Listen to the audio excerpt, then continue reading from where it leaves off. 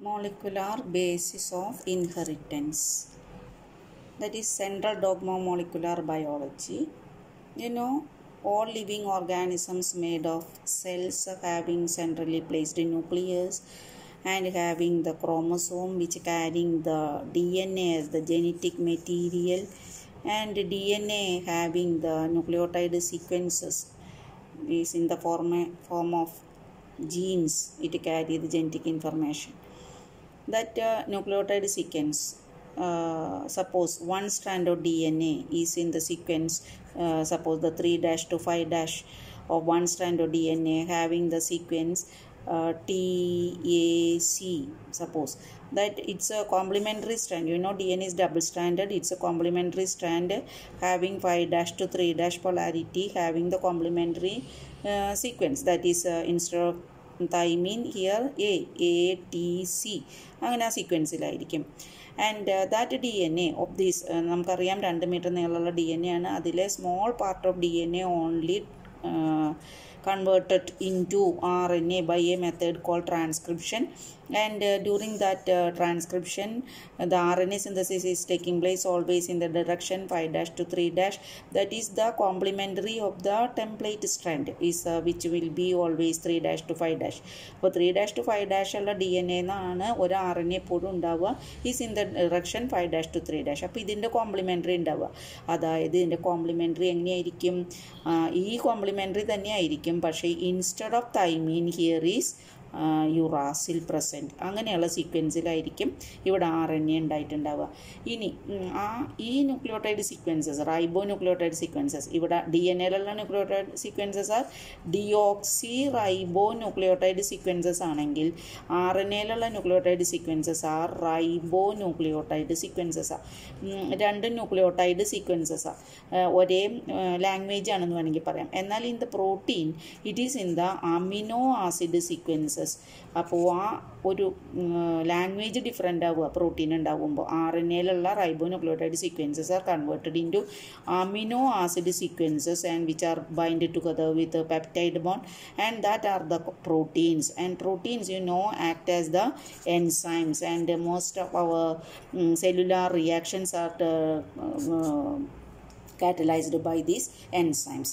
ഇതാണ് നമ്മുടെ molecular basis of inheritance എന്ന് പറയുന്നത്. ആ മെക്കാനിസം നടക്കുന്നത് സെൻട്രൽ ഡോഗ്മ എന്ന് പറഞ്ഞ ഈ ഒരു കൺവേർഷനാണ് from D N A to R N A to protein that is transcription and by translation ഇത് നമുക്കൊന്നുകൂടി നല്ലോണം മനസ്സിലാക്കാനായിട്ട് നമുക്ക് suppose a question is given with D N A strand in the polarity three dash to five dash അങ്ങനെ ഒരു D N A strand തന്നു എന്ന് വയ്ക്കാം ആ D N A സ്ട്രാൻഡിലെ nucleotide sequences T A C C A C then A T C അങ്ങനെ അങ്ങനെയൊക്കെ തന്നിട്ടുണ്ടെന്ന് വിചാരിക്കാം.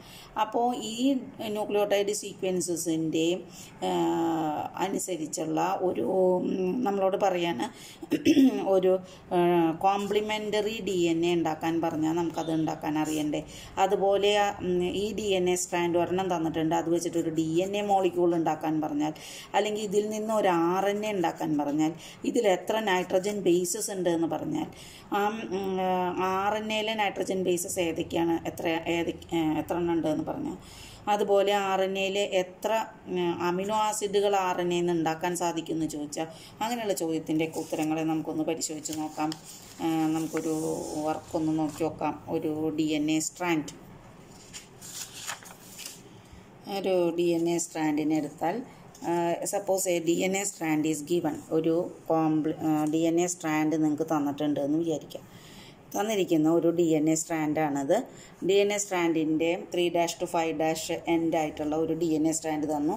അതിൽ നിന്ന് ഒരു കോംപ്ലിമെന്ററി സ്ട്രാൻഡ് ഉണ്ടാക്കുമ്പോൾ നമുക്കറിയാം നമ്മളതിന്റെ ഒരു ഒരു ലെങ്ത് ഒരു സ്ട്രാൻഡ് നമ്മൾ വീണ്ടും five dash to three dash അടയാളപ്പെടുത്തുന്നു. അതിന്റെ അതിന്റെ കോംപ്ലിമെന്ററി ആയിട്ടുള്ള അഡിനൈന് കോംപ്ലിമെന്ററി ആയിട്ടുള്ള സ്ട്രാ ബേസ് ഏതാ സോറി തൈമീന് കോംപ്ലിമെന്ററി ആയത് അഡിനൈൻ അഡിനൈന് കോംപ്ലിമെന്ററി ആയത് തൈമീൻ അങ്ങനെ നമ്മൾ കോംപ്ലിമെന്ററി സ്ട്രാൻഡ് നമുക്ക് ഡെവലപ്പ് ചെയ്യാം. ഇനി അഥവാ നമ്മളോടൊരു ഡി എൻ എ മോളിക്യൂളാണ് ഉണ്ടാക്കാൻ പറഞ്ഞതെന്ന് വിചാരിക്കുക.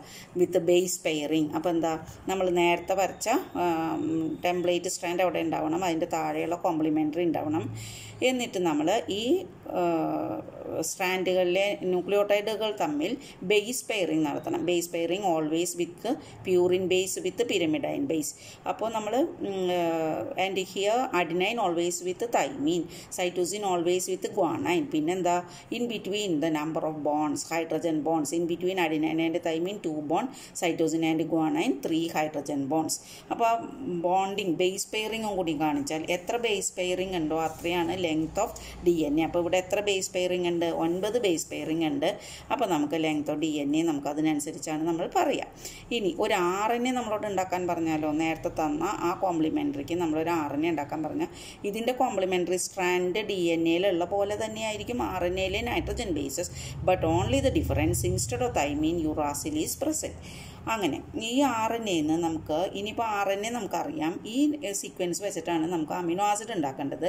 അപ്പോൾ ഇവിടെ ഒരു ട്രാൻസ്ലേറ്റർ അല്ലേ ഒരു ട്രാൻസ്ലേറ്റർ ആവശ്യമാണ് ആ ട്രാൻസ്ലേറ്റർ മെക്കാനിസം ഒരു ജെനറ്റിക് കോഡ് എന്നാണ് അതിന് പറയുക and genetic code carry the information of nucleotide sequences to produce protein that genetic code ഒന്ന് ഇലാബറേറ്റ് ചെയ്ത് പറഞ്ഞാൽ three nitrogen bases uh, code for one codon that denote one codon and one codon code for uh, one amino acid amino acid. അപ്പോൾ three bases one codon one codon code for one amino acid ഈ ഒരു sequence നമ്മൾ ഓർത്താൽ that is the genetic code അപ്പോൾ ഇവിടെ എത്ര bases ഉണ്ട്? Nine bases are present here the M R N A എത്ര കൊഡോൺ അതിൽ നിന്ന് പോസിബിൾ ആണ്? Three codons which are the codons they are A U G then G U G then U A G ഇവിടെ നിങ്ങൾക്ക് നോക്കിയാൽ അറിയാം. നിങ്ങൾക്ക് ഒരു ജെനറ്റിക് ഡിക്ഷണറി എന്ന് പറഞ്ഞിട്ട് നിങ്ങളുടെ ടെക്സ്റ്റിൽ ഒരു